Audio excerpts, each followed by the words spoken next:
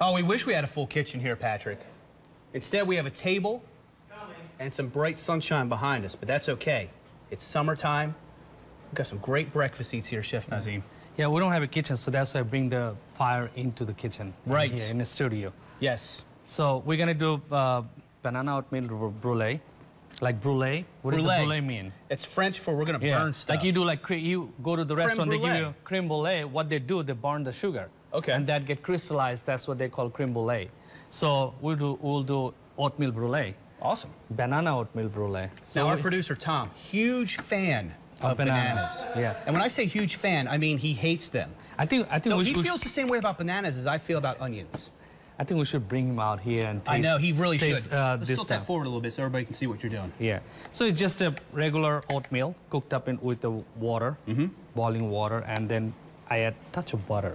I don't know. Should did not you? be. It's, it's like should be healthy option, but I love butter. So, but you mix it in. So it's very simple. Mm-hmm. Like any fruits you want, you can add some uh, golden raisin, you can add some uh, cranberry, or any way you want it to flavor uh, Sure. your uh, oatmeal.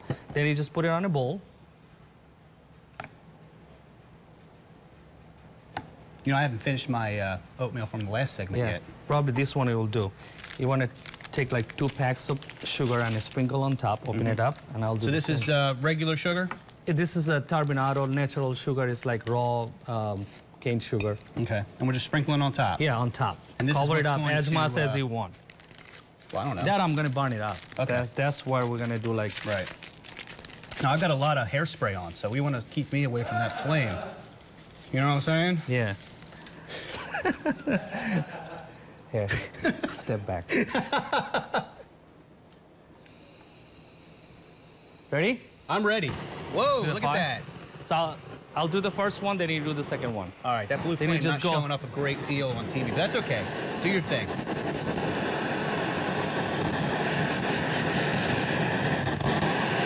So when you burn your sugar, you let after get like nicely burned, and then you let it sit because you don't want to eat like hot caramel sugar in your mouth. Then you're gonna burn yourself.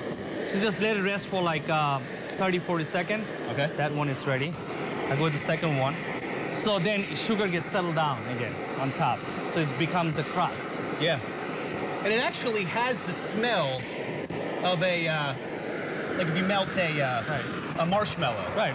And we're doing we're doing real stuff here, you know. There's no Yeah. faking. We're live, you know. we're cooking, having fun. That's right. and then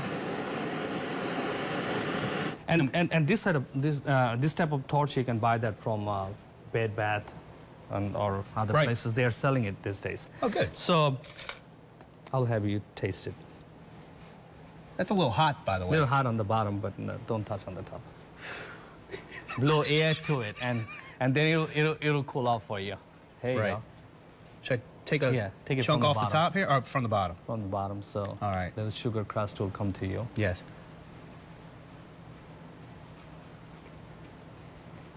That's great.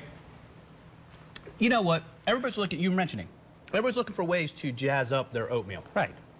This is a great way to do it. Right. I mean, you know, you have a uh, family of four or five, you know. Right. Uh, you're doing that in the morning. So everyone says, wow, it's a little different. This is, So, yeah, I was gonna say, this is like a million times better than instant oatmeal. right.